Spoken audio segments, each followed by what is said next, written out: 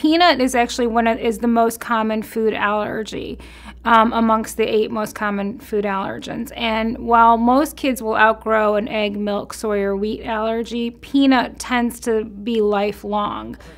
The prevalence of peanut allergies actually tripled from 1997 to 2008. And while we don't know exactly the reason, the leading hypothesis is the hygiene hypothesis, which states that we have become too clean a society. We're using all these different antibacterial products, and the body doesn't have anything to actually um, attack anymore, so it starts to attack things that it normally was able to tolerate over the years, different uh, allergists have tried um, desensitization with oral immunotherapy.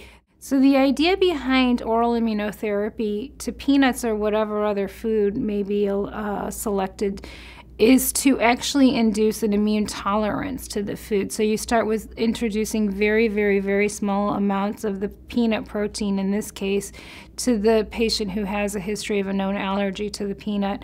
And and giving them increasing amounts over um, a selected period of time, and actually um, asking the their immune system to recognize and slowly tolerate the peanut protein.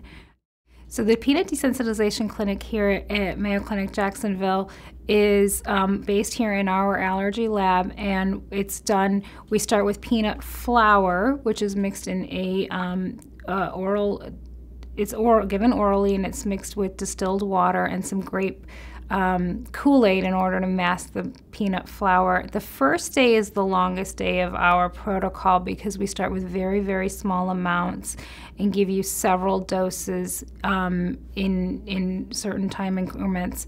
Um, it's done under strict observation. Patient has an IV so that we have um, access should we need to provide emergency medications to the patient. The ER is notified